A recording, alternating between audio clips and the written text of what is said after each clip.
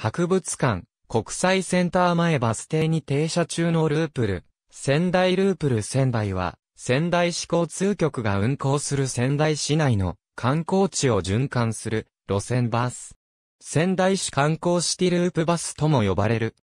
通常の仙台市営バスの車両とは異なる、レトロ超路面電車風の特製車両が用いられている。中乗り、前降り、全車で車椅子での乗降可能。車内と停留所は KDDI とワイヤーワイヤレスが提供する無料公衆無線 LAN 仙台フリー Wi-Fi のアクセスポイントになっている。仙台市経済局と仙台市交通局の共同事業である。パンフレット作成などの宣伝、ループル仙台チョロ Q の販売等は、仙台市観光課、仙台市交通局、公益財団法人仙台観光国際協会による、仙台市観光シティループバス運行協議会が、担っている。仙台駅、西口バスプールでの案内業務は、仙台交通株式会社が担っている。1999年5月13日から運行が開始された。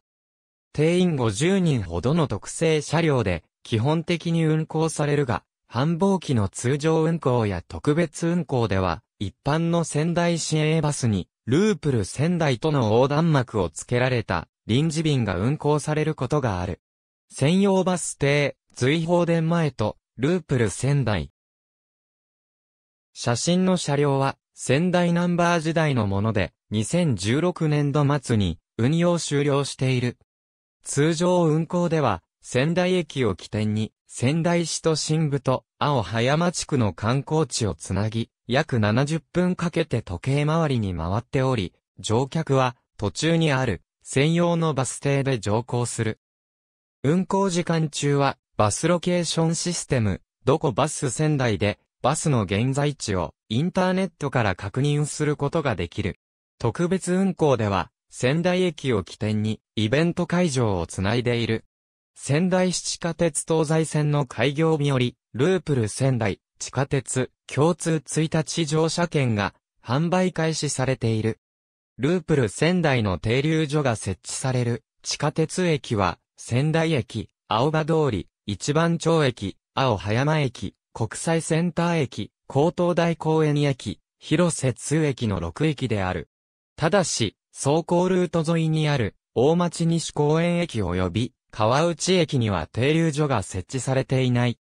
有効な1日乗車券を提示すると割引を受けられる制度があり、ループル仙台の専用バス停に近接する、伊達正宗関連観光施設である、随宝殿、仙台市博物館、青葉城資料展示館の3施設だけでも大人は、合計400円引きになる。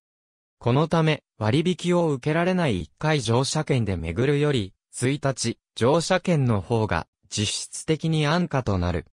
なお、120円パックの利用エリアである都心部内を相互に移動する場合や、仙台駅と随宝度の理学部自然史標本館、宮城県美術館、大崎八幡宮の各施設を単純に往復する場合は、一般の路線バスや地下鉄東西線を利用する方が安価である。運行時間は、仙台駅前発9時16時。臨時便用車、仙台230は、352、写真は、宮城ナンバー当時のもの。特別号で用いられた、仙台230は、246利用客数は、順調に増加し、2008年度には、仙台、宮城デスティネーションキャンペーンの効果もあって40万人、年を突破した。しかし、2011年3月11日に発生した東北地方太平洋沖地震の影響で半減した。2015年12月6日の仙台市地下鉄東西線の開業により、ループル仙台と地下鉄の両方を1日乗り放題にするには、中前では、ループル仙台1日乗車券と、仙台市地下鉄1日乗車券の2つを買う必要があったのが、ループル仙台地下鉄共通1日乗車券の販売開始によって実質的に値下げとなった。加えて、仙台駅と随宝殿、八木山動物公園、仙台城跡を結ぶ一般路線バス、動物公園循環が廃止され、ループル仙台が仙台駅と仙台城跡を結ぶ唯一の公共交通機関となった。このような運賃、路線の変化があって、ループル仙台は、土休日を中心に、積み残しが生じるほど混雑するようになった。増車等により、2016年度より7両体制、2017年度より7両体制になり、混雑緩和を目指している。仙台市電1号車。ありがとうございます。